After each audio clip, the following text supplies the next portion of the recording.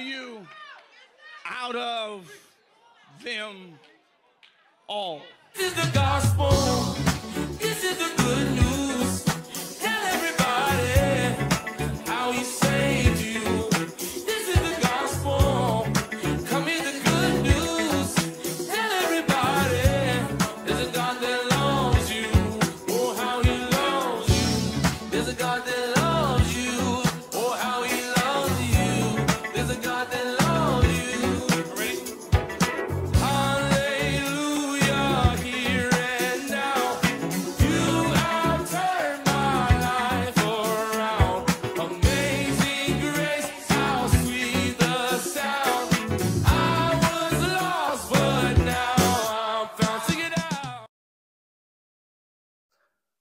Father, we thank you and we give you praise and glory and honor for the time that you've given to us tonight to study your word collectively as a church family. We're asking tonight that you would lead us and that you would guide us in your word, causing us to grow and causing us to become the people of God that you have destined for us to become. Thank you for this great church and for the opportunity that you give to us, God, every single week and really every single day to really be transformed by the renewing of our minds as we go into your word. And I pray that you would help us, that you would lead us and guide us tonight as only you can. We'll give you the praise, we'll give you glory, and we will give you the honor. In Jesus' mighty name we pray. Every glad heart said, Amen and Amen. Well, praise the Lord, greater faith.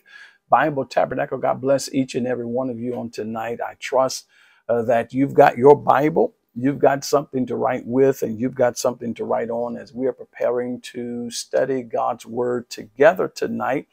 We are adding another installment to the series of lessons that we've been teaching entitled The Resurrected Life.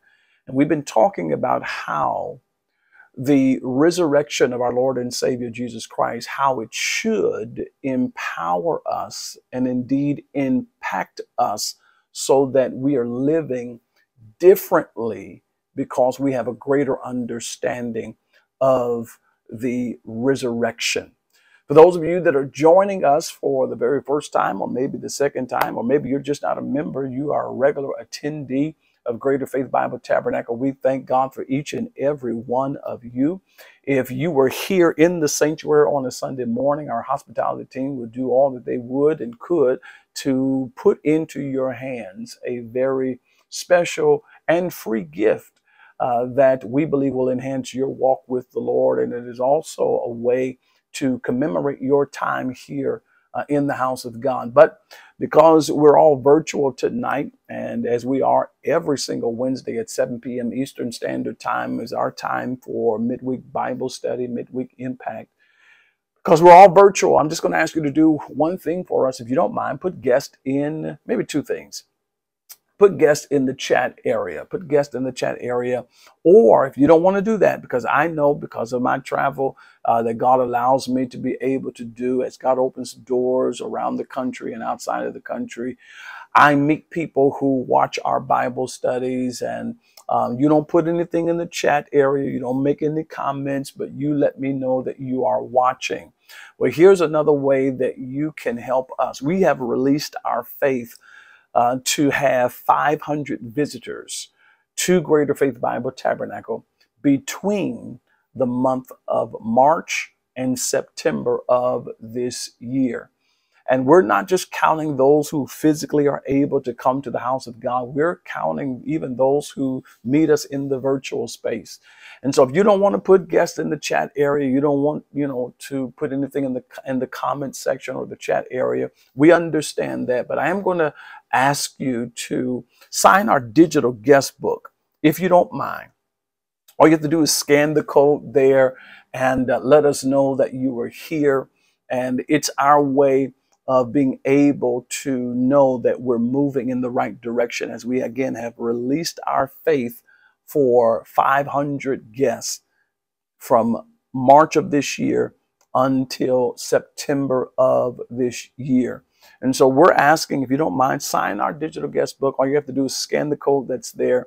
There'll be a prompt that'll pop up on your phone or on your smart screen, and you'll be able uh, to do that. If um, by chance you are using your smart device, you can do a screenshot and you can go back later and fill in that information. It only takes about 20 seconds or so and you can do that. Well, if you live in Western New York, we would love for you to be our guest here at Greater Faith Bible Tabernacle and let us know uh, that you would like to come and be a part of our worship experience. And one of the ways you can do that is you can um, just let us know uh, that you would like to come by scanning that particular code that's there or you can call our church office with the information that you see there on the screen. Let us know what Sunday you will come, and we will have something that we can put in your hand, and we will be able to better prepare uh, for your time here in the house of God. Well, let's get into uh, the word of the Lord uh, tonight. In Romans chapter number eight, it is our theme verse of scripture for this entire series entitled The Resurrected Life. The Resurrected Life.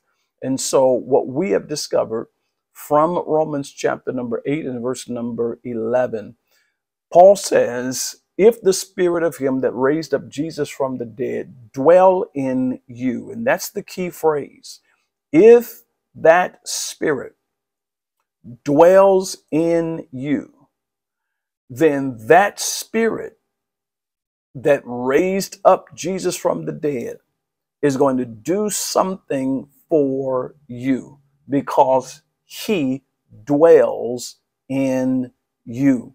And so this has been our theme scripture for this particular series as we are uh, really getting a better understanding of what it means to live a resurrected life.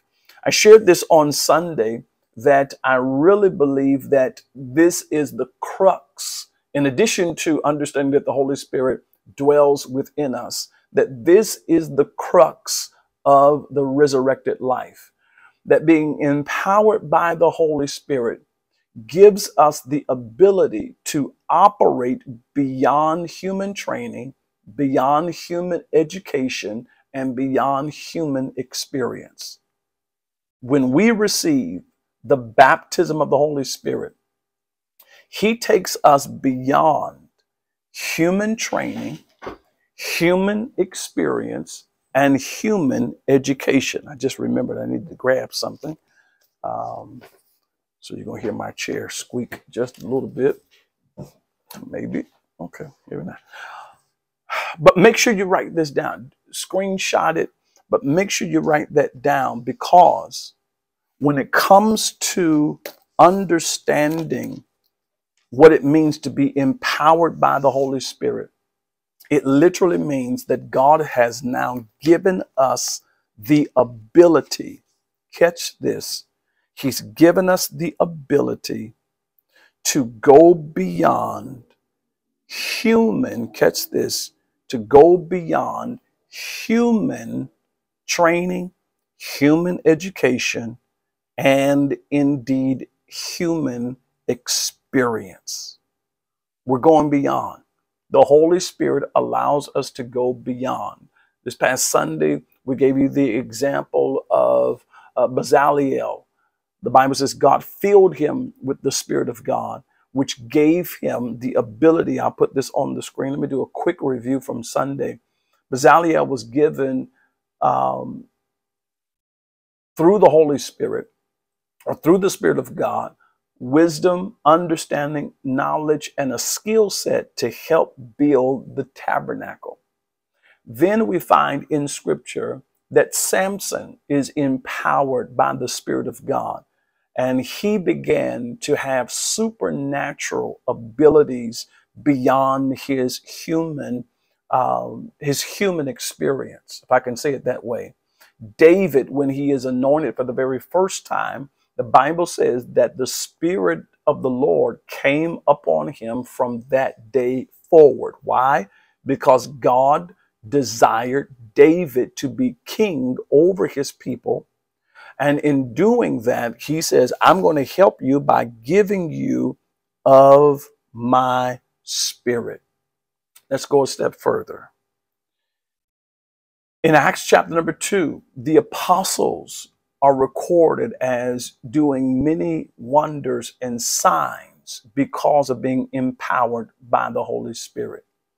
Paul the apostle continues that by saying that God used him to do mighty signs and wonders uh, by the power, again, of the Spirit of God. And we said this on Sunday this enablement, this power, this gift has been given to you and I.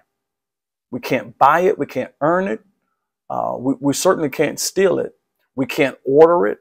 It is a gift and it has been given to us.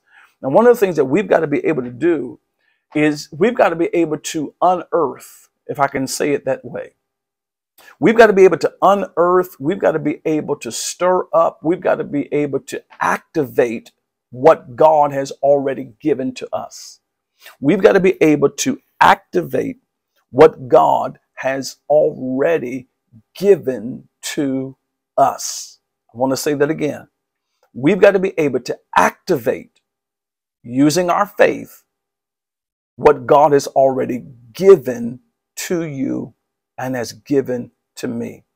And so Paul tells Timothy in 2 Timothy chapter number 1 in verse 6 and 7, wherefore I put thee in remembrance. That's what this series is for for some of us. I'm by the Holy Spirit, I'm trying to remind us, put myself in there. I'm trying to remind us by the Holy Spirit and through his word that we have been given this gift from God. But we've got to stir up that gift Paul says to Timothy, This gift was given to you because I laid hands on you.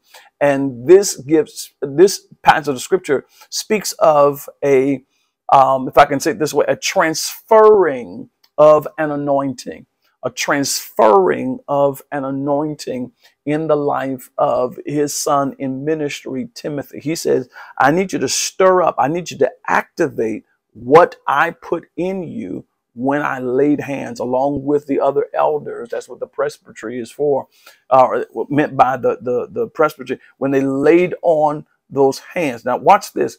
He says, Stir up the gift that, that is in you by the putting on of my hands. But catch this. For God, catch this, please. For God hath not given us the spirit of fear, but of power, love, and a sound mind. I want to say that again. God didn't give us the spirit of fear. He did give us the spirit, but He didn't give us the spirit of fear. He gave us the spirit uh, of power, love, and of a sound mind. And I want, for those of you that are taking notes, I want you to consider something here that I believe that God showed me in studying this passage of scripture some, some time ago. If you look at verse number seven, for God has not given us the spirit of fear, many of us, we know this. God has not given us the spirit of fear, but of power, love, and of a sound mind. If you look at fear, he says God didn't give us the spirit of fear, but he did give us power, love, and a sound mind. Can I suggest to you that fear will affect the other three things that are mentioned in the remaining of this verse. I'll put it up on the screen. God didn't give us a spirit of fear, He gave us power, love, and a sound mind. When you and I operate in fear, we won't use the power that God gives to us. When we operate in fear, we won't love the way God intends for us to love. When we operate in fear, we won't operate with the soundness of the mind that God has given to us. I want to say that again. When you and I operate in fear, we do not operate and use the power that we actually have. When we operate in fear, we don't love the way we should love. There are some people who won't get into certain relationships because you've been hurt in the past and you are afraid of hurting that way in a relationship ever again. And so it's it's difficult and challenging for you to love at that level because you are still operating in fear. And the Bible says God didn't give us that, that spirit of fear, but of power, love, and a sound mind. When you and I are operating in fear, there are certain things that you just don't do using the soundness of mind. There are some of us uh, who are afraid of animals or afraid of um, insects, and you uh, you've heard me say this before. I'm going to say it again. Um, uh, for those of you who feel like you're so powerful in the Holy Spirit and all those kinds of things, then I'm I'm going to need you. I'm going to need you to be able to kill your own insects in your own house and not run crazy um, when you have the baptism of the Holy Spirit. You you want to come here and rebuke demons and devils, but you're running from ants and spiders. You're not going to talk in here. You know, you, you want to you know cast out you know demons and pray people through to the Holy Spirit, but you can't kill an insect. Come on now. God has not given us the spirit of fear, of the power, of love, and the sound mind. Now, I say that tongue in cheek, but seriously, I say that tongue in cheek. I'm, I'm jesting using that example. But the part, uh, the point I really want to stress is that when you and I are operating in fear, there are certain things that we don't do or don't even think correctly because we're operating in fear. There's some of us who have gone through all kinds of things in our lives, and fear tells us that um, if everybody knows what you've gone through, they may treat you differently. Well, because of that fear, when that begins to set in your heart and in your mind, you may begin thinking in crowded rooms or sanctuaries, everybody knows. Everybody doesn't even talk to you. But when I'm operating in fear, I'm not using the soundness of the mind that God has given to me. That's just an example. That's just just just an example.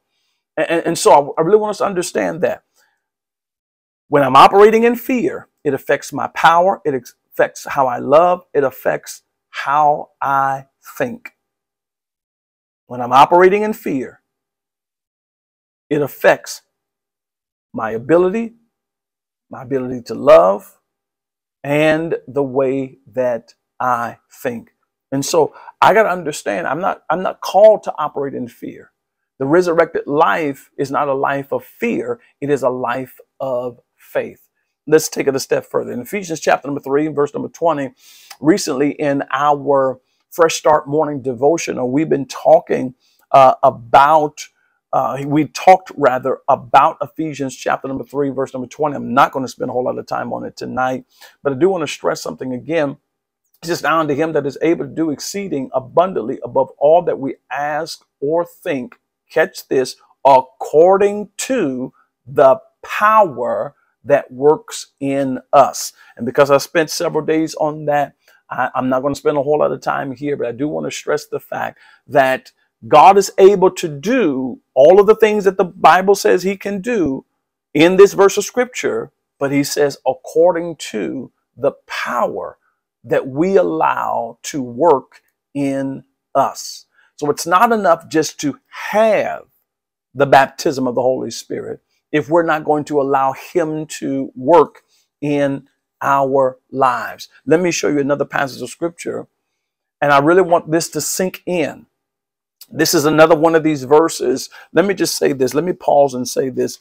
There are a lot of Bible verses um, that many of us, because we've been exposed to scripture for so long, that we're able to rattle off and quote, you know, um, one, of- one of my Achilles heel in ministry is I can quote more than I can locate in scripture. In other words, there are people um, that if I shared their names, you would know them, but they're able to say, and the Bible says in, in Revelation chapter number three and verse number, you know, uh, the 26, you know, blah, blah, blah, blah, blah, blah, blah, blah, blah. And the Bible says in Hebrews uh, six and one, so on, so on, so on, so on, so on, so. And the Bible says in Titus uh, chapter number two, verse two, and da, da, da, da.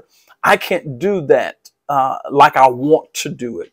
Um, I, I'm not able to recall those details, but I can recall things that are in Scripture um, and, and be able to use them as proof texts.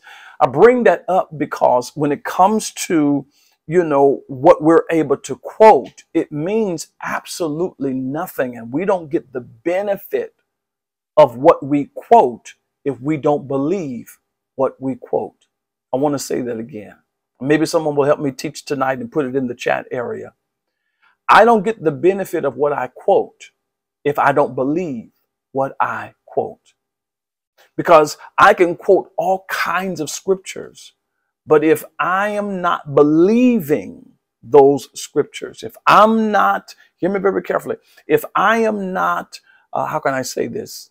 Um, if I can quote God so loved the world that he gave his only begotten son that whosoever believe in him should not perish but have everlasting life. If I can quote that, but if I don't believe it, I'll never get saved. Or I may believe that other people can get, can be saved, but I'm too, you know, I, I, I've gone through, I've dealt with so much that he won't save someone like me. I can quote John 3:16, but if I don't believe John 3:16, I can't get the benefit of John 3:16. I hope this is making sense because it it can become a, a trap to be able to quote Bible verses, but not be able to believe Bible verses. I, am I'm, I'm recalling a, a scripture um, that talks about um, that we should not just be hearers of the word of God, but we have to be doers of the word of God. And we do the word of God because we believe the word of God. All right. See, I just gave another verse of scripture right now on the top of my head. I couldn't tell you exactly where it's found. I do know it's in the Bible, but but but again, that that's you know something that I'm uh, trying to work on. Now, the point I'm making and stressing is, is this: I'm going to put up on the screen a Bible verse that many of you, once you see it, will probably be able to quote. For some of you, I could, if there were a way that I could cover the the verse and only show you the book and the chapter and the verse number, you could probably rattle it off, you know, and be able to uh, to say uh, what that verse says. As, as a matter of fact, let, let me do it this way. Let me do it this way. I'm going to uh, I'm going to put up a picture. I'm going to put up our theme for this year, still intentional. All right. And I'm going to give the book, the chapter, and the verse number, and I am going to begin this verse. And I want you to put the verse of scripture in the chat. All right, it's going to be an exercise. All right, so let me do this again. I'm going to say what the verse is the book, the chapter, and the verse number. And then I'm going to read a portion of that verse. I want you to put the rest of that verse or all of the verse. It's relatively short. I want you to put the verse of scripture in the chat. All right. It's going to be our exercise for tonight. Philippians chapter number four and verse 13 says these words I can do all. Finish that. I'll wait a few moments while you write the remainder or all of that verse in. Matter of fact, let me chat. Put all the put all of that verse in the chat area. Put all of that verse there. Many of us we, we know it. It's not a trick. Many of us we know it. Philippians 4:13 says, "I can do all." Finish that. Put it in the chat area. Everyone that's watching that knows this verse, go ahead and put it in the chat area. Even those of you that don't normally put things in the chat area, I'm talking to you as well because I know some of you, and I'm not talking to those that are not members of our church. I'm talking to those who are members of our church. I want to see you put that verse of scripture there in the chat as well. If you're watching with us uh, on Wednesday night, put it there. Don't log out. Don't act like you didn't hear me. Put it in the chat. Come on. Philippians 4.13 says, and it's easy by now because some of you have already put it in, in the verse there. Let me put it up on the screen. Philippians 4:13. I can do all things through Christ which strengtheneth me. I can do all things through Christ that strengtheneth me.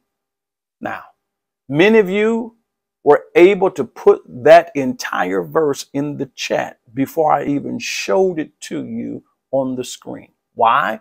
Because we have been exposed to that verse. We have read that verse. We have quoted that verse. We have heard sermons or Bible studies mention this particular verse of scripture. And we know what it says. We know what it says, but I'm going to put it up on the screen anyway.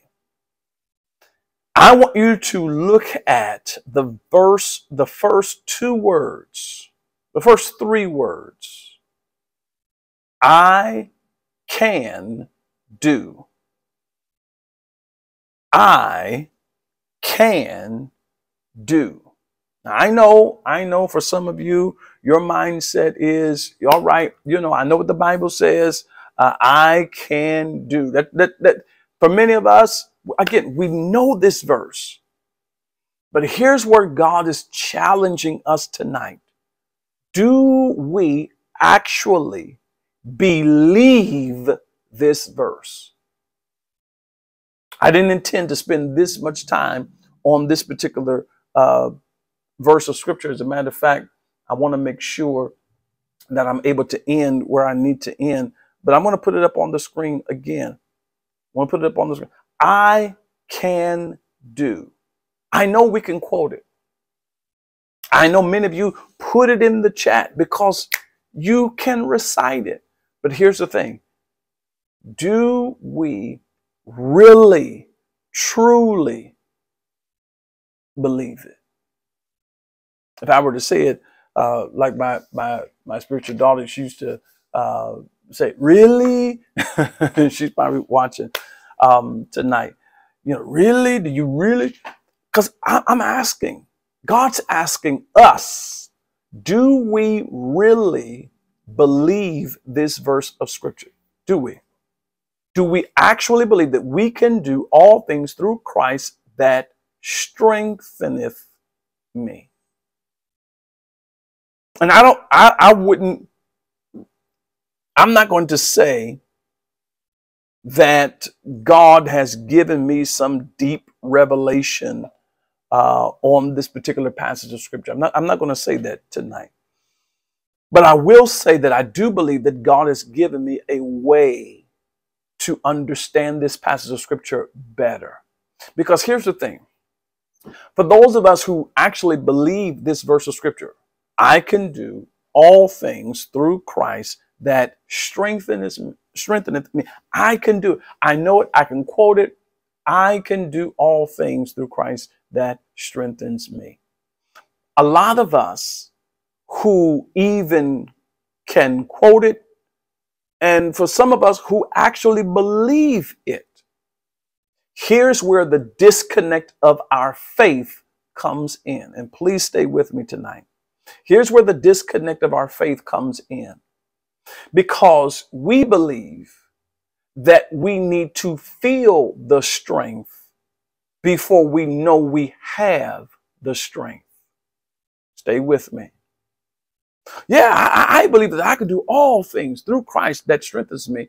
And, and some of us are waiting to either be told something or in many cases to feel something so we know that we can do something. You know, um, we have to be, and I am 100% guilty of this, we have to be careful with our church lingo. You know, I feel like praising I feel like preaching. I feel like praying. Every last one of those things I got to do and should do whether I feel like doing it or not. And so a lot of times we are waiting on God to do something so that we feel stronger so that we know He has strengthened us to do it. Stay with me. I can do, use my cup here, all things through Christ that strengtheneth me. I can do all things through Christ that strengthens me. Now, how do I know? Is the relevant question. How do I know that he has strengthened me. How do I know? You know, I, I believe that I can do all things through Christ that strengthens me, but how do I know He's strengthened me to do this? Hope this is making sense. How do I know that He has strengthened me to do this? Because in many cases, we disconnect our faith until we're able to answer that relevant question. And that is, how do I know I have the strength before I do it? Because that's really what we're asking. Before I do this, I need to know that I have the strength. Now, I believe that God, uh, that I can do all things through Christ that strengthens me. But how do I know He has strengthened me to do this? Now, here, here's a couple of things I want, I want you to take note of tonight. And I hope this is making sense as we slow down the text of script, scripture for just a moment. I pray this is making sense.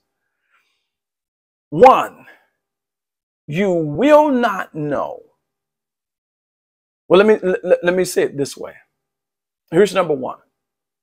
In understanding this, here's number one. Christ will not strengthen you to do all things. Wait a minute, Bishop. Wait a minute. You, you just said, I can do all things. Paul said to the Philippian church, I can do all things through Christ that strengthens me. That is true. That is absolutely true. But here's the thing Christ will not strengthen you to do all things. That's the first thing you have to understand that just because the verse says, I can do all things through Christ that strengthens me, he is not saying that Christ is going to strengthen you to do all things. God has not strengthened me, catch this, to be a concert pianist. He's not strengthened me to do that. Christ has not strengthened me to be the president of the United States of America. He's not strengthened me to be an astronaut. He's not strengthened me to build a skyscraper. He has not strengthened me to be a surgeon and to be board certified as a surgeon. He has not strengthened me to be a politician. He's not strengthened me. And so the text is not saying I can do everything because he's going to strengthen me. No, no, no, no. So the first thing we have to understand is Christ is not going to strengthen you and I to do everything. He will strengthen you and I to do some things. And the things that He strengthens you to do, you can do all of those. Oh, let me, let me make sure I'm, I'm making sense. Christ is not going to strengthen me to do everything. He's only going to strengthen me to do some things. But of the things that He strengthens me to do, I can do all of those. Let me give you a third time. Let me give it to you a third time. Christ is not going to strengthen me to do all things. But the things that he strengthens me to do, oh, I can do all of those. That's how we have to understand that, that, that passage of scripture. That's number one. Christ is not going to strengthen you to do everything. So there are some things that you may want to do, have a desire to do, that Christ didn't strengthen you to do. And so don't use this verse of scripture to declare, I can do all things through Christ that strengthens me. Though that is true, you have to know whether or not Christ has strengthened you to do it. Here's number two. Here's number two. Some of you may not have known that that was all of this was in in that passage of scripture. Here's the second thing you have to understand. We have to understand about this particular passage of, uh, uh, of scripture so that we can understand it effectively. I can do all things through Christ that strengthens me. How do you know you have the strength that Christ has given you? The only way that we know that we have that strength is when we attempt to do some of these things. I can do all things. I'm, I'm going to have to attempt one of all of those things to know I have been strengthened by Christ to do it. You don't know you've been strengthened to do it unless you attempt to do it. Hear me very carefully. Stay with me. Because someone is asking, well, what if I tried to do it and I fail? Does that mean that Christ has not strengthened me to do it? Not necessarily. Maybe you're trying to do something that Christ told you to do and has strengthened you to do it, but you you're trying to do it the wrong way. You're strengthened to do it, but you're trying to do it the wrong way. On Sunday, hallelujah to the Lamb. Thank you, Jesus. On Sunday, if the Lord delays his coming and releases us to do so, on Mother's Day, I want to talk about how the Holy Spirit will give you strategy. If if you and I go back, let me do this. Let's let's look at these passages of Scripture. We're going to end in in uh, Second Peter, I believe, tonight. I hope this is making sense because we're talking about the resurrected life. So how do I know that I have this ability? Well, one, I have to know He's not strengthening me to do everything. Here in this particular passage of scripture, notice that God gave Bezaleel wisdom, understanding, knowledge, and skill set to do what he asked him to do. So not only did he give him the power, he gives he gives him strategy to get it done. Same thing with Samson. He didn't just empower him, he gave him strategy to get things done. As a matter of fact, the Bible says with Samson, when he decides to marry uh, his, uh, when he decides to get married, he finds a Philistine woman down in Timnath. And the Bible says he tells his parents, go arrange that marriage for me. This is back when, uh, in the Bible times when they were arranging marriages. And um, some still do it today. Um, but he, he says, go get her for me. And the parents were saying, out of all the people that you could pick, why would you pick our, uh, someone who is an arch enemy of ours? Because at this time, Israel and the Philistines didn't get along, you know, so well. And um, as a matter of fact, the Philistines were now oppressing um, the Hebrews. And so they were like, well, why can't you pick one of our people? And the Bible says that they didn't know that Samson was using this as an opportunity to begin to operate in his assignment in beginning to deliver Israel from the hands of the enemy or from the hands of the Philistines. I hope this is making sense. He didn't just give him muscle, he didn't just give him supernatural strength, he actually gave him strategy. I hope this is making sense. Um, here's another one David. He's given wisdom to be king. The apostles were given power to work signs and wonders. My God, today.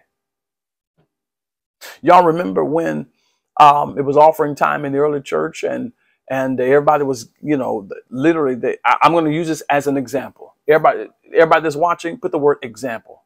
Example. Put it in the chat area, real quick, real quick. Put it in the chat area, real quick, real quick, real quick. Put it in the chat area. Example, example, example. This is an example. Um, and I'm, I'm wanting you to, to do that so that, you know, people don't take it, you know, you know, the wrong way and, and be offended and think that I'm talking about them when I'm really not. Um, cause I, I, I don't know. Um, everyone in the early church decided to give a certain way. Everyone who had something decided to sell something and then give the money to the church so that the church could do ministry. Um, like a capital campaign. They weren't building anything, but they wanted the resources to be able to do ministry. And um, when Ananias and Sapphira came to give their offering, out of all the people that are giving in the offering. Peter stops and asks, you know, the husband first, or the wife first. The husband, I can't remember which came in first, whether the husband or the wife. Um, maybe it was the wife that came first. I don't know. I can't remember. Somebody put it in there in the chat area. See, certain things I can remember, some things I can't. But it's in the book of Acts. You'll find it there. Um, but he asked one spouse did you sell the land for so much money? And the person lied and said, Yeah, we sold it, you know, for so much money. Strategy comes in when God allows Peter to ask that question. We say, well, uh, Bishop, you know, how can you say that that that God gave, you know, told Peter to ask that question? Because when the spouse gives the answer, the Bible says that Peter knew it was incorrect, and Peter's response was, "Why did you choose to lie to the Holy Spirit?" So again, these signs and wonders were not just empowerment, there was strategy to go along with that. You know, what does that have to do with strategy? God was trying, by the use of the apostles, to set a certain precedent and order and decorum in this early church about integrity and accountability. All right? So, somebody's probably put that in, in the chat area. Uh, let me move on real, real quick. Again, Paul the apostle, strategy. He didn't just have wisdom, strategy. God gave him strategy. Now, let me do this so I can flip through this. Now, everyone that you saw from Bezaleel to David to Samson to the apostles to Paul, and there are others, every last one of them only knew that they could do it. Thank you, Lord. This, this, another example just dropped in my in my spirit. And we'll probably try to find that real quick. They didn't know that they could do it until they tried. Bezalel didn't know that he could build the tabernacle until he built the tabernacle. Samson didn't know that he had the strength that he had until God gave him the strength that he had, but he had to try something. God, I thank you. Solomon is called to be king after David. Solomon is David's son. And the Bible says that after Solomon is anointed to be king, God visits Solomon and says, Solomon, what can I do for you? And Solomon says, I want wisdom so that I can be a good king. And God says to Solomon, because you didn't ask for, you know, a lot of money, you didn't ask for the life of your enemies. He says, um, uh, I, I'm going to throw those things in as well. I'm, I'm, I'm going to make you rich and, and I'm going to give you some peace and from your enemies and all those kinds of things. Um, but, but he says concerning that wisdom, he says, I will also do that thing that you have asked. Now, when the Lord says to Solomon, I'm going to do that thing that you asked about that wisdom thing, how did Solomon know he had the, the, the divine wisdom until he is first presented with um, a, a scenario where he has to rely, let me check my time, he has to rely on the wisdom of God. In other words, you don't know you've been strengthened to do something until you attempt to do it. How do I know that I have the ability to lift this water bottle or this container? How do I know? I want what's in it. I just messed up my example. I just lifted it up. How do I know I can lift it? Without trying. I have to put forth some effort to try it. Now, for those of us who are of a certain age, some of us, we went to reach for a cup. It may have slipped out of our hands. It may have broken, uh, spilled the contents on the table, on the ground, or what have you, that doesn't mean that you're you're not empowered to hold a cup. It just means that you were trying to do it the wrong way. You didn't grab it the right way. Oh, I wish this is I hope this is making sense. It's not that God didn't anoint you to do it. You're just trying to do it the wrong way. So just because there's a struggle in doing it doesn't mean that you're not empowered to do it. Nehemiah is called of God to build the wall. We'll talk about this on Sunday. The Lord say the same. God gave him a strategy. But even though God gave him a strategy as he begins to view the wall at night, doesn't mean that he doesn't have enemies to try to make it difficult. He's got Sanballat, Tobiah, and Geshem who act as antagonists in that story. I hope this is making sense. So just because there's a struggle doesn't mean that God didn't anoint you to do it. But this is also why we've got to know the voice of God for ourselves. So that in the midst of struggle, we can go back to God and say, God, you know, what's going on? Give me wisdom, just like Rebecca. When she was um, blessed to finally get pregnant after being considered to be barren. And when she finally gets pregnant, all of a sudden her children are, are fighting on the inside. Because there's no ultrasound, there's no x ray, she has no idea what's going on. So she goes to God and says, God, if it be so, why am I thus? That's King James language for what's going on. Woo! That's why sometimes just because it's a struggle, it doesn't mean that you're blessed, that you're not blessed. Just because it, it might be difficult to do doesn't mean that you have not been graced to do it. The Bible says of Jesus, hallelujah to the Lamb. The Bible says of Jesus that God has anointed him, uh, uh, anointed him with power and with the Holy Ghost, and he went uh, throughout uh, the region doing good, and yet his ultimate assignment was to die for our sins. And going through what we call the passion, the prayer in the garden, great uh, sweat like great, uh, great drops of blood fell from his face and fell from his body. And if you study that out, oh God, I'm probably going to mess this up. Hematidrosis, I think that's the term.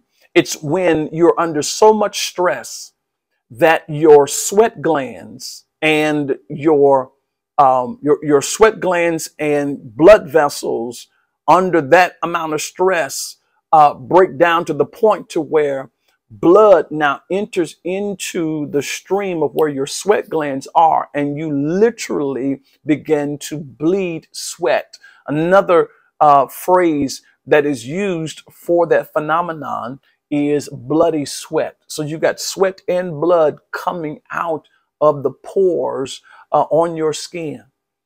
So it doesn't mean that he wasn't anointed to do it. We know he was anointed to do it, but it doesn't mean that it was not difficult to get it done. We taught a series prior to the pandemic, difficult but doable. Some of you may remember that. Okay. So again, Paul says, I can do all things through Christ that strengthens me. So, what does that have to do with the resurrected life? Again, having the power of the Holy Spirit moves me beyond human training, human education, human experience. I have the ability to have access to resurrection power. With that resurrection power, I have the ability to live in the newness of life. Remember that phrase, newness of life, literally means uncommon, unprecedented, and unheard of. That's the kind of life God has called us to live. But I have to believe the word of God so that I can live that kind of life. Hopefully this passage of scripture will help us to do that in Second Peter chapter number 1 verse number 4. 2 Peter chapter number 1 and verse and verse number 4. I I want you to write that down, but I, I want to read a little bit more of this uh, passage of Scripture. I want to read um, a little bit more of this um, if I can. Go in your Bibles if you have it. Go to First Peter or Second Peter, chapter number one, and verse number one. I'll put that back on the screen in just a moment. We're doing good on time. Thank you for hanging in with us. Second Peter chapter number one, verse number one. Simon Peter, a servant and an apostle of Jesus Christ, to them that have obtained like precious faith with us through the righteousness of God and our Savior Jesus Christ. This is his uh, greeting. Grace and peace be multiplied unto you through the knowledge of God and of Jesus our Lord. He continues, verse number three, according as his divine power hath given unto us, catch this, talk about strategy. This divine power has given to us all things that pertaineth to life and godliness. I, I, hope you have your Bible. This is Second Peter chapter number 1 and verse number 3. He says, This divine power that we have been given, he also refers to this as, um, um, as a pr- like precious faith. All right. So he's talking to other spirit filled believers. And Peter says these words according as his that is God's, divine power, hath given unto us all things that pertain unto life and godliness. Catch this through the knowledge of him that hath called us unto glory and virtue. In other words, he's given us all things that we need that pertain to life and godliness. This is one of, God, I thank you. Hallelujah. Thank you, Jesus. This is one of the reasons why I preach a powerful gospel. Not because I'm a powerful preacher, but I preach a powerful gospel, not a weak gospel, not a gospel of, of barely making it, because I don't see that in scripture. And there's some things that I'm trying to progress even in my own life. God, I thank you. Hallelujah to the Lamb. Bless the name of Jesus. Hallelujah. Thank you, Lord God. There are some things that I'm trying to progress in. But he tells us God has given to us all things that pertain to life and godliness. Think about that for just a moment. This divine power helps me in my regular life and in my godly walk with the Lord. In other words, this divine power will help me with human things and divine or spiritual things. We'll talk about this on Sunday. But but but I, I really want us to see this, and maybe we'll read this again on, on, on Sunday. Verse number three, according to his divine power, have given unto us all things that pertain to life and godliness through the knowledge of him that have called us unto glory and virtue. In other words, it is through my knowledge of God. It is through my knowledge of his will, his word, it is, it is my understanding of who he is that has an effect on me and how I believe. We'll deal with it on Sunday. The Lord say the same. Whereby we, watch this, whereby are given unto us exceeding great and precious promises that by these might, that by these might, ye might rather be partakers of the divine nature, having escaped the corruption that is in the world through lust. Let me read this again. Whereby this divine nature, this divine power, by that we have been given exceeding great and precious promises, that by these we might be partakers, catch this, of the divine nature, having escaped corruption that is in the world through lust. Partakers of his divine nature. We are sharers of this divine nature. God has allowed us to partake, take part in this divine nature that goes beyond my human training, beyond my human experience, beyond my human education. There was nothing wrong with my training. There was nothing wrong or sinful about my experience. There was nothing wrong or sinful, generally speaking, about my education. Nothing wrong, nothing sinful about being educated or being trained or having experience in a particular area. There was nothing sinful about that. But the power of the Holy Spirit moves me beyond those boundaries so I can live this unprecedented, unheard of, and uncommon life called the newness of life. I hope this is making sense. God willing, we will add to this as we go into this series even further. But I trust that we will no longer just look at Bible verses, but we will consider whether or not we actually believe the things that we read. And I trust that we will. The Lord say the same. I'll see you tomorrow morning in Fresh Start, or I'll see you on Sunday morning as we go into the sanctuary online in this place. Um, I wish I had. I don't know if I can do this. I don't know. If, hmm, it didn't come through. All right. I'll wait. I'll share that at another time. Uh, but we got some new things in the Life Center. Um, thank you for your giving and your capital campaign. I need you to continue to do so um, as we are seeking to maintain that which God has given to us. And uh, I trust uh, that you will you will do that. God bless you. I'll see you soon.